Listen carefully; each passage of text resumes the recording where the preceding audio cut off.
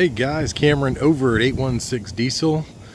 I'm doing a cold start walk around video today. It is a 2009 Dodge Ram 1500, uh, little 5.7 Hemi truck that we fancied up. Dirty money package, wheels, tires, flares, grill. Uh, we're just gonna do a cold start, quick walk around video. I, a lot of people give me questions about this truck and I want everyone to know what they're looking at and what it is. So I've actually got the laser key, so we're going to be doing the remote start today. Two click. Only bad thing about this truck, it's got a little bit of exhaust leak. Just a little bit of click you hear when it's cold, you can kind of hear it there. Other than that, it's a really nice truck. It runs and drives great. It's got some miles on it, but hopping into the cold start video here. It is a sport package, so you got the center console and a couple of the good upgrades. Uh, but like I said, she's got some miles. 233-354. It is a lot of miles, but I'm telling you, this truck, guys, we don't buy anything junky as far as mechanical goes. This thing runs and drives great. Strong oil pressure, all the temperatures are right. There's no check engine lights. You do have a TPMS indicator light for tire pressure because we're running aftermarket wheels and tires that do not meet the specifications for the tire pressure. Um, but yeah, really nice truck. 2009 Dodge Ram 1500 Sport SLT. It's an automatic 5.7 Hemi. You got your power ports down there, shift console in the center, little tray, ice cold heat, hot or ice cold AC and hot heat. Um, got tow haul button. You do have the port here on the dash for 115 and 150. Uh, it's got an aux cable for your iPod and hookups for your MP3s, radio, and it does have the steering wheel controls, if you can see back there.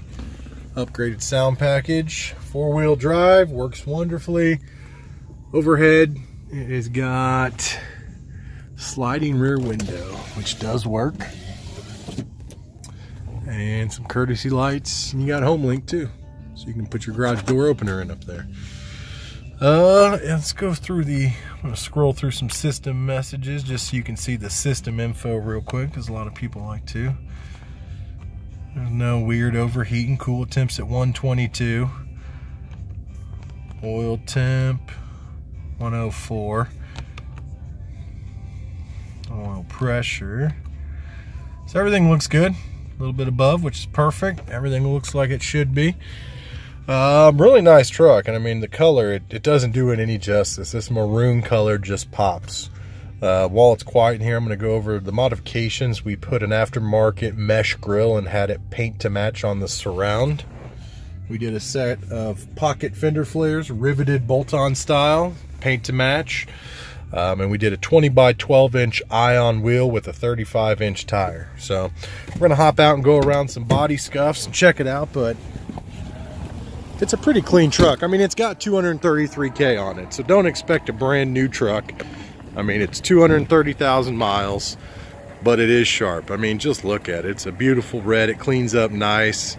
Uh, we also did an aftermarket black housing headlight on it just to kind of tie that look together. Uh, but the exhaust leak, as you can hear it, it's got a little one. They all got them. A lot of these Hemis do it with higher miles.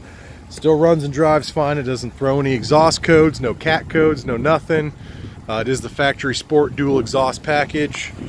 Like I said, 20 by 12 ION wheels. We serviced the front end suspension, uh, wheel bearing, tires are brand new, 100% tread. They got a 40,000 mile warranty. They literally have five miles on them. We do these trucks up. All these accessories are new. The fender flares are brand new. It's got Nerf bars on it, tinted windows. It has a roll-up truck cover. I think it's the Truxedo one. Nope. Tagco. But a nice truck cover there. Uh, I, I want to go over, as far as damages, there's not damages, but it does have some little scratches in it. I mean, you can see right here, it's touched up. Someone did some touch-up paint on here, but it's got a few little scratches and rock chips truck is not perfect by any means, but it does clean up nice.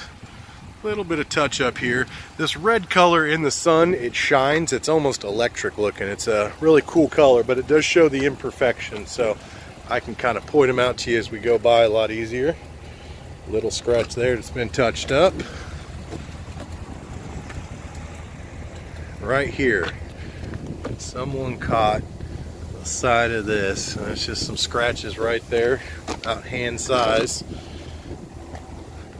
It's also a little dusty, but it is scratches on there. Like I said, sport bumper, paint to match, dual exhaust, blacked out emblems, smoke tail lights, smoke third brake light. So we got all the lights blacked out on it. More touch-up paint up here. You hear that exhaust. It's got a nice little rumble to it. It's not crazy loud, but it sounds good. All in all, though, it's a great truck, guys. Uh, on the front bumper up here, I do want to show you, yeah, here. We got some scratches coming off this front bumper. So, you know, 230K. Condition is pretty correct with the miles. It's, I mean, it's for, for that miles, it's nice. It's a turnkey truck.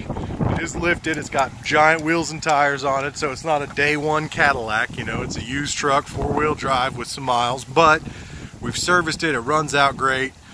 I mean, I, I drive this thing myself. It gets compliments everywhere it goes. But let me know if you got any questions. We're over here at 816 Diesel, downtown Kansas City. Call the shop, 298-7030 if you'd like. It's a landline. Sometimes we don't answer it.